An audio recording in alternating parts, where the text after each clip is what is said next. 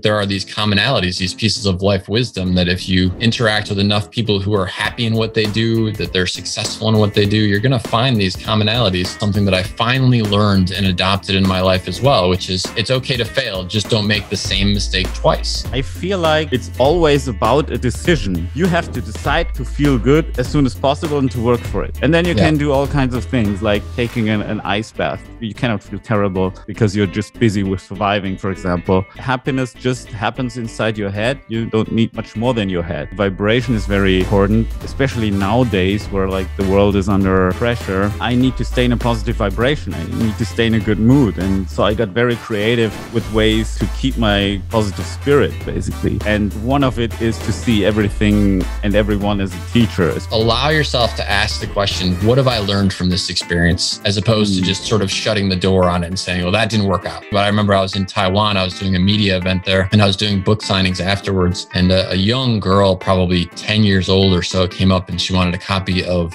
Safari des Lebens in Life Safari in English signed. When she handed me the book, she had just one hand. She didn't have a second mm. arm. Here she was asking me for advice about being courageous. And I just thought every day you're more courageous than I've probably had to be ever in my life.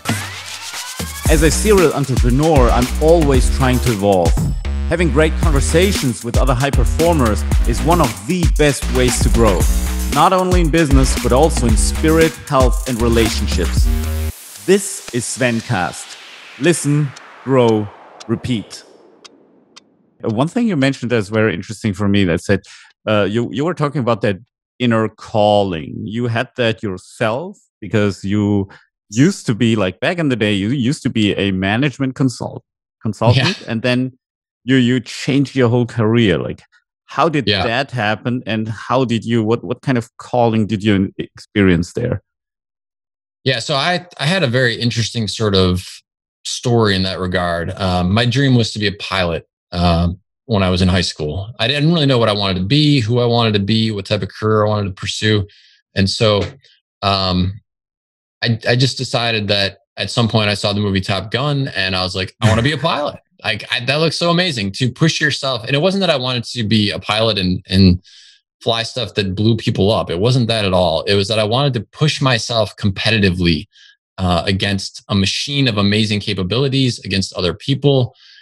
And uh, so I decided I wanted to be a pilot. But interestingly enough, Sven, the underlying reason, even far greater than that, was that I wanted to go travel the world. I wanted to go experience all that the world had to offer. And through a strange series of circumstances, which is kind of a long story that I won't necessarily tell all the details of, but I had spent my entire life savings from the time that I was 12 years old until I was 22 on this dream, only to have it taken away because of a medical condition I had no idea I had, and which only impacts you if you want to be a pilot or an astronaut. So, like, the odds of that are unbelievable. Um, but if it hadn't been for that, I wouldn't have gotten into management consulting if I hadn't gotten into management consulting, I wouldn't have understood how to negotiate deals, how to read through contracts, uh, how to structure a business. And without that information, I couldn't be the author that I am now.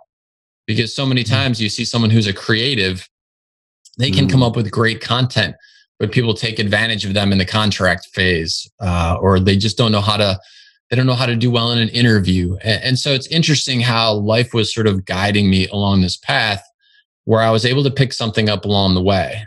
And I think the big takeaway there, and I'd love to hear your perspective on this as it relates to your story, is allow yourself to ask the question, what have I learned from this experience? As opposed mm. to just sort of shutting the door on it and saying, well, that didn't work out. See.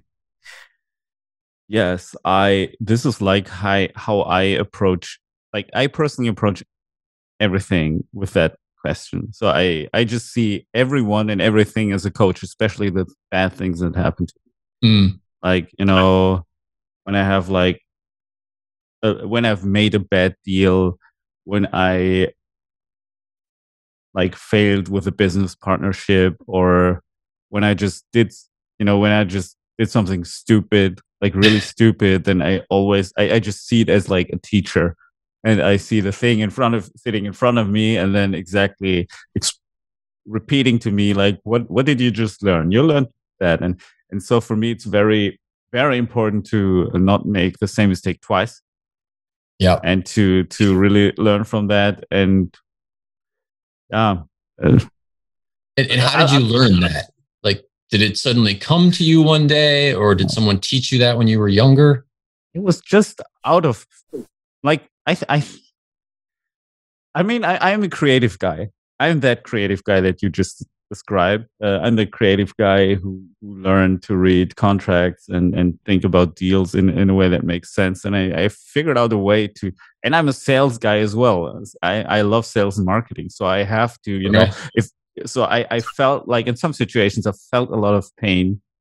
And uh, then I somehow figured out like how can I frame this so it, it has a positive impact on me instead of like just bringing me down all the time because okay.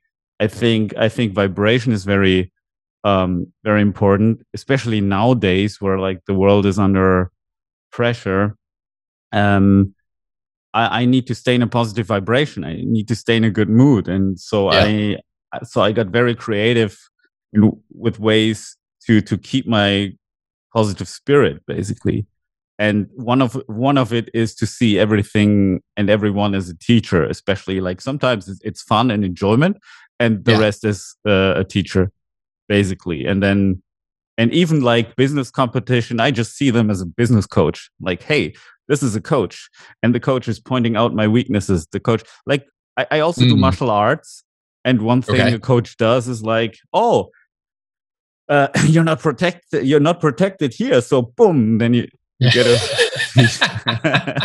immediate feedback, right? Yeah, you know instantly. Yeah. Oh, that's where I wasn't protected.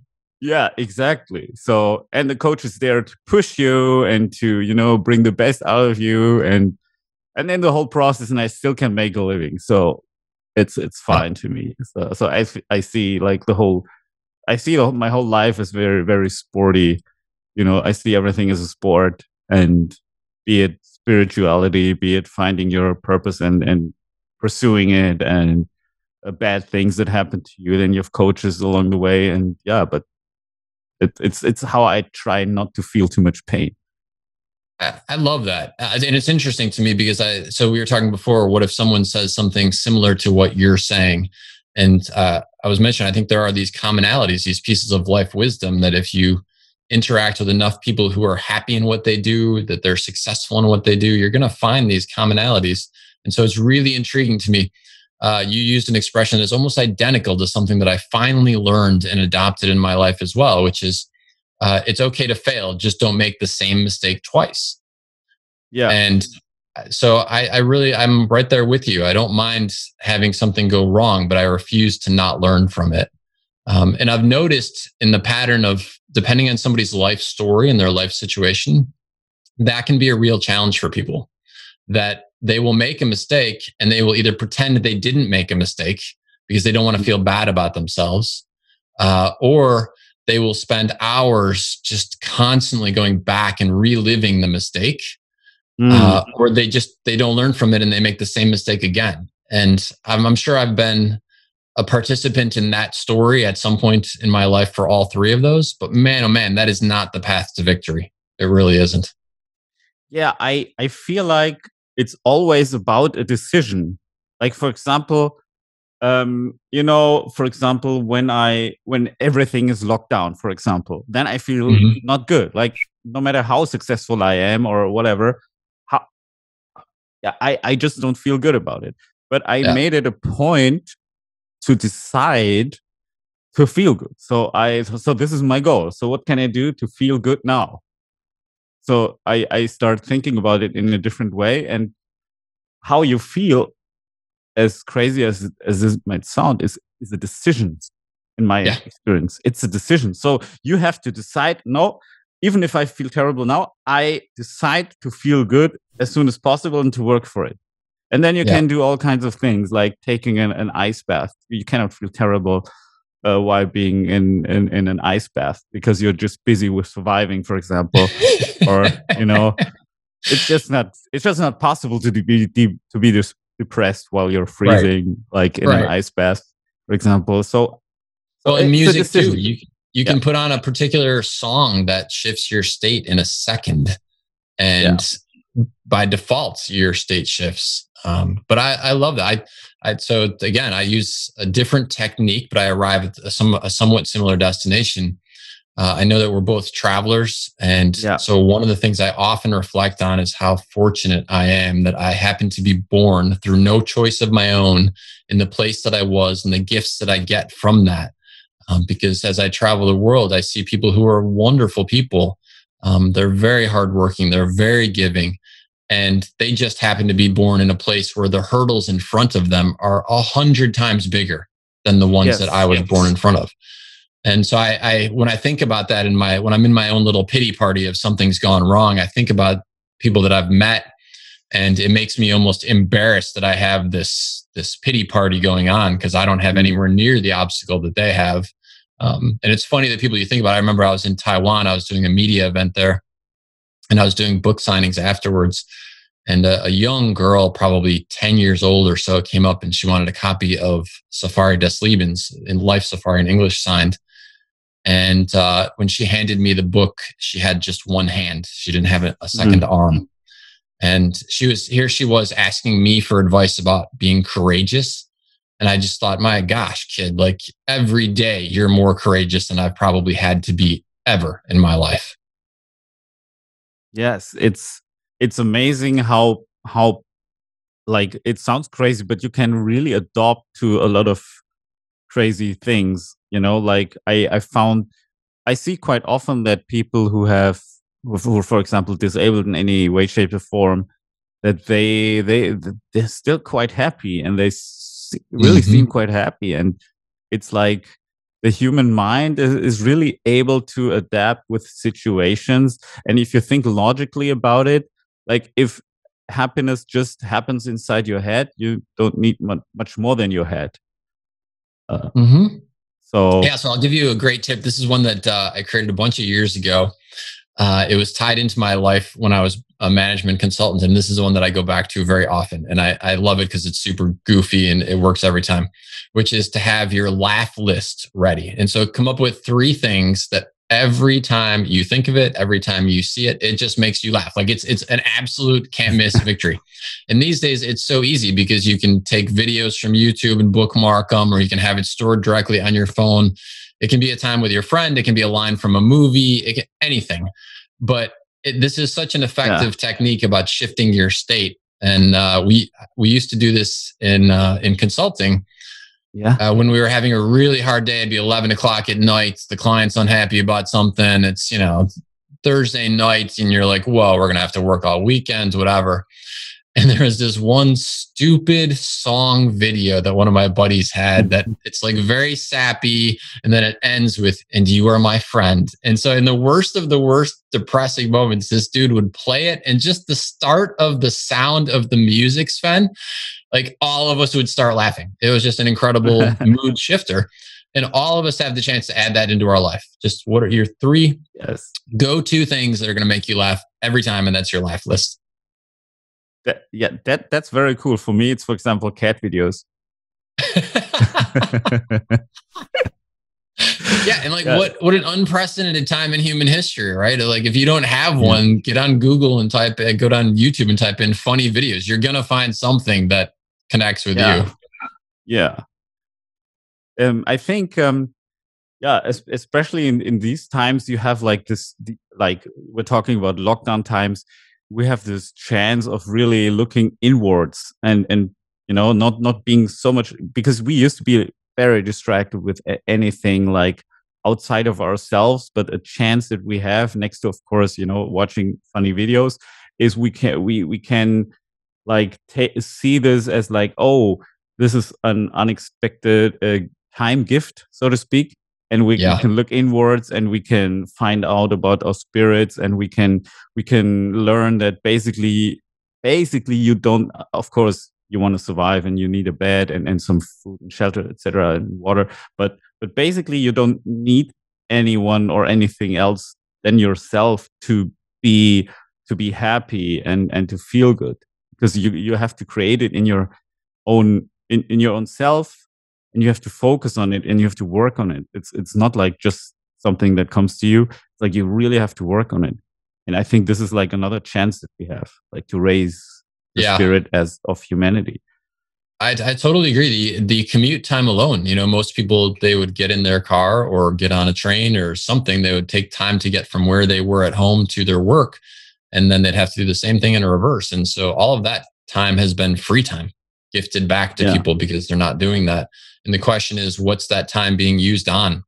Are we allowing ourselves to ask, "Wow, like what do i when this situation ends and i have complete freedom to travel again or to engage in whatever activities i want what are what i call your big five for life what are the five things i most want to do see or experience in my life and it would be a travesty i feel to walk out of this situation and not have given that some thought not have hired a coach not have taken a course not have allowed yourself the introspective moments of contemplative thought to get clear on those questions not only so that you can start getting smart about them now during this extra time that we've got, but so that when this situation is is over with, that you're hundred percent ready to immerse yourself in that. Yeah, I, I, I remember thinking at the beginning of this, I was doing a, a PSA, a public service announcement about inspiring, you know, trying to tell people wear masks and and that kind of Mm. stuff. And I remember thinking to myself, Sven, that if we walk out of this situation the exact same person we we were when we walked in, like that'll be that'll have been a loss. It's really Yes, important yeah. to have learned something, to have grown in some way from this. Um, and I, I hope that's the case for for everybody who's out there. yes i it's it's again a decision. Like uh Mhm. what i would like one of the messages i would like to bring across in this podcast is like i want to inspire people to to to a learn that your happiness and your well-being is ultimately your decision. That's why by the way i also think people should should decide about what they take into their bodies or not. It's it has to be a decision because it it the the there's never a quick fix from the outside. Mm. like there, there can be like some stepping stone on the outside or something some tool that you can use from the outside. Um but but there is no quick fix from the outside that like for example a pill or an injection won't um won't it uh, uh, won't work as well as living a healthy lifestyle. If you don't live a health, healthy lifestyle then you can die basically without an infection of something. You you will you will uh, uh, uh, die from your own lifestyle. So what you really need is you need to make that decision. Again a, A, it's a decision and you need to make that decision over and over again to become better to become healthier to become happier no matter what happens on the outside and really work for it and do everything that you need to do and um So what's interesting about that to me is that if you so and I think back to my own life and again in my early 20s especially early to mid 20s that if you are living a life where you don't enjoy your job and you don't have a sense of what would make you happy then there's no real motivation to do these things you're talking about. That part of the part of the inspiration for being healthier for looking at the things that we eat and saying wait how do i feel after i eat that? Do i feel just lethargic or do i feel super energized in a good sort of way? Do i feel like i've got the kind of enthusiasm that i could go walk for two miles or four kilometers or whatever? If i don't have a motivation to be healthier then i just get less and less healthy. And this goes back again to the big five for life to me. There's no training at least there wasn't in my life there was no training that said hey this great adventure of life only lasts so long and the only way you're going to get to go do see and experience the things you want to go do see and experience is if you pick them.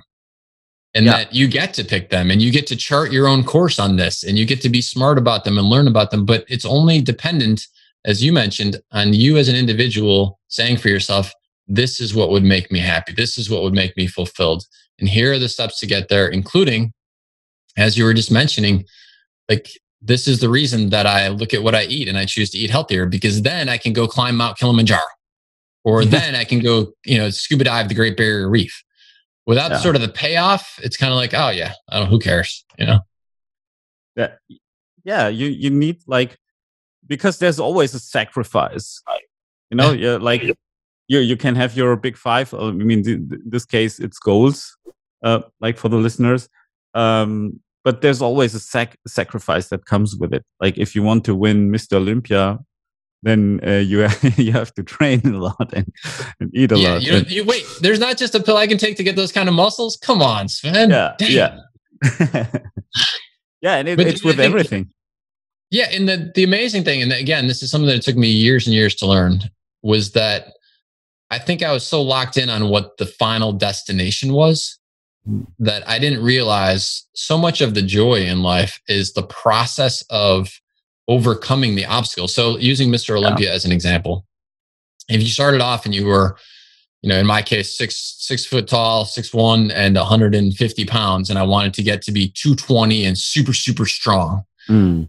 then part of the joy of the experience is overcoming the obstacles. Because when I arrive at the other side of that, I've grown tremendously, not just physically, but I've grown mentally. I've gotten more self confidence. And so that's that's the reason I think in life that it's not just about taking the one magic pill. Then it would just be an instant payoff, but we'd have missed the whole value of learning along the way and gaining our self-confidence and learning that we were more capable than we thought we were capable and dealing with challenges and overcoming those challenges. That to me is the game. And if we allow ourselves to embrace the game, which is tying back to what we talked about earlier, accept failure as part of that adventure you're not going to be 100% on point, but you're going to learn from the failures and move on. Then you log what I think is the most important currency, which is minutes of life in alignment with the life that you want to live. That I think is winning the ultimate game. Yeah, th- th- that's very interesting. Um, and you you have to have this higher calling, and, and, the challenge with that is especially nowadays where we have all this media around us uh, trying to sell us stuff. So basically suggesting, oh, you're not happy, so therefore, you need to buy X, Y, Z. Oh, buy a nicer car, buy these clothes, you know, like etc. etc. So how how can you really like really find out what you're really about, what your inner calling is? Yeah, uh, and and not fall for like some kind of external marketing distraction. Uh, distraction. Sorry, not dis- distractions, but distraction. Yeah, no, your your question is 100% on point. and the example that I would use is imagine if someone walked up to your door and said, "Hey Sven, great news, the plane is leaving in 2 hours, so pack your bags." Well, I don't know, are you going to the Caribbean to go scuba diving and snorkeling? Mm. Are you going to the mountains to go skiing? Are you going to go trekking in the forest somewhere? Like you wouldn't know what to pack unless you knew what the destination was and what you were going yeah. to be doing there. And that's what we get to choose. That's again tying it back into the same verbiage. That's your big five for life. And when you know those things, it makes it. And so let's say, you know, the place you're going to travel wise is you're going down to the Caribbean and you're going to be scuba diving and snorkeling for a week and maybe doing a little fishing for mahi mahi. And so now when someone is trying to sell you, uh, you know, hiking boots uh, for the great winter season, you're like, I mm. don't need that. Thank you very much. I'm good. I'm going someplace where that's not necessary. Uh, when someone is trying to sell you a course about how to become a master violinist, and you're like, no, actually, I'm going snorkeling and scuba, scuba diving. So thanks a lot. Don't need that right now. So this awareness about where you want your life to go has been for me the greatest catalyst that takes stress so much out of our lives because now we don't get distracted by that stuff. We don't get pulled in a thousand different directions. It's much more of a very binary decision making process. I'm going this direction to that destination because I want to do these things. And this thing you're offering, it either helps me in that regard or it doesn't. If it does, yes. maybe I give it some consideration. If it doesn't, it's a no. Yes. Um, still that's easier said than done because you know let's assume you you have kids and you don't like your job you would love to be some someone else basically you would like you would love to live for example in a foreign country or you would have a whole different job but still like you have to feed the family etc and uh, you might want to become an entrepreneur for example but but but you need that salary you have to pay off your mortgage and your car etc etc what what do you tell those people? I would say two things. One is that the the more we have examples of people who have done seen and experienced what we want to do see and experience the easier it gets for us to see that as a potential reality in our lives in part because the brain doesn't want to change. The brain wants to do the same thing today it did yesterday. And so it's going to just sort of lock in on our tasks, activities, thought processes that we did yesterday and mimic those every day thereafter. However, if you have a role model of someone who is doing this thing that you want to be doing, as you said, taking my entire family, moving to a foreign country and getting a job in this particular industry. When I know two or three people who have done that and I've had a chance to learn their stories and see what the process was, now it's like having a map. And I may not know how to get from point A to point B in the beginning, but with a map, I can definitely get there. And using your sports analogy before, which I love because I'm a big athlete myself. Okay, so if I've got the map and I can see the pathway, and then maybe for myself, I decide I also want to hire a coach. So I want a coach who can guide me as I'm getting from point A to point B. Or maybe I decide that I want to, the joy for me is learning it as I go. And so I can see the map and I know where I'm going to go. And I want to get super smart about all the processes to get me from one spot to another. It's when we don't have examples of people who have done seen or experienced it. That to me is where the brain is just like too big, too much, mm. have no idea where to go. And so then we just default to the same behavior we did yesterday. Um, but again, this goes back to the amazing time in history where we live, the yin and yang of everything. The technology can be the world's biggest distraction if you let yeah. it be. But to the contrary, the, the technology can be the world's greatest connector of finding these people who have done, seen, and experienced what you want to do, see, and experience if we use it that way. In the following episode of Svencast, sometimes we can be so stuck in our own heads that we think, well, this is the this is the way it is. This is the way things work. But when you open up your challenge to four or five other smart people, it's amazing how they will see things that we have blinders on. We just can't see it, but they're going to see those opportunities. So one of the things I often recommend is to have what's called an MMB session, a make me better session. You invite seven people over to your house and then you say, listen, I want to tell you about my personal big five for life. Here's what they are. Here's the obstacle that I see in front of me. What ideas do you have? If you enjoyed this episode, hit the subscribe button and never miss an episode of Svencast again.